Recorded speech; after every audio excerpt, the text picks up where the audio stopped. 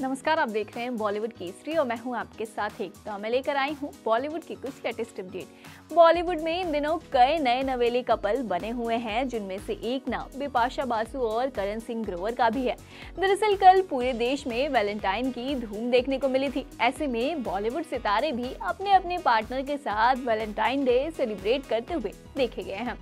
इन्हीं कपल के लिस्ट में विपाशा और करण का नाम भी शामिल है। लेकिन अब पहले वैलेंटाइन डेट पर न जाने क्यों विपाशा को किस बात का गिल्ट भी सताता हुआ नज़र आ रहा है। दरअसल बिपाशा बासु और उनके पति actor Karan Singh Grover Valentine day के दिन मुंबई में स्पॉट किए गए। ये पहला मौका है जब कपल अपनी नन्ही सी जान देवी को घर पर छोड़कर बाहर निकला था। हालाँकि न्यू मॉम बिपाशा को हबी करण के साथ डेट नाइट पर भी बेटी की याद सताती रही। इस दौरान एक्ट्रेस जल्द से जल्द देवी के पास पहुँचने के लिए काफ़ी ज़्यादा उतावली भी दिखाई दे रही थी। वहीं इस दौरान Bipasha, short black and white में काफ़ी गॉर्जियस लग रही थी तो वहीं करण और ब्लैक लुक में काफ़ी हैंडसम लग रहे थे। वहीं बिपाशा से जब बैपराजी ने पूछा कि, बेटी कैसी है? इस पर एक्ट्रेस ने कहा कि, यह पहली बार है जब बेटी को घर पर छोड़कर अकेले बाहर आई हूँ, और इसके लिए काफ़ी गिल्टी भी फील हो रहा है। साथ ही एक्ट्रेस ने कहा कि ना चाहते हुए भी उसे छोड़कर आना पड़ा।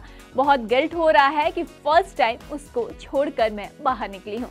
वैलेंटाइन डे के लिए सब बोले, जाना चाहिए, थोड़ा एक दूसरे के लिए भी वक्त निकालो। इस कारण हमें अपनी बेटी को छोड़कर अकेले ही बाहर आना पड़ा है। बता दें कि बिपाशा बासु और करण सिंह ग्रोवर की शादी की छह साल बाद पेरेंट्स बने हैं। इस कपल ने 12 नवंबर 2022 में बेटी देवी का स्वागत किया था। एक्ट्रेस की प्रेगनेंसी में काफ़ी कॉम्प्लिकेशन भी हुए थे, जिसका खुलासा खुद एक्ट्रेस ने ही किया था। वहीं बिपाशा बासु और करण सिंह ग्रोवर ने 30 अप्रैल 2016 में शादी रचाई थी। दोनों की पहली मुलाकात अलोन मूवी के सेट पर हुई थी। लेकिन इन सबसे हटकर आपको बिपाशा की बेटी कितनी पसंद आती है, यह हमें कमेंट सेक्शन में ज़रूर बताइएगा। वेल अभी के इस रिपोर्ट में बस इतना ही। मैं एकता त्रिपाठी, पंजाब केसरी, दिल्ली से।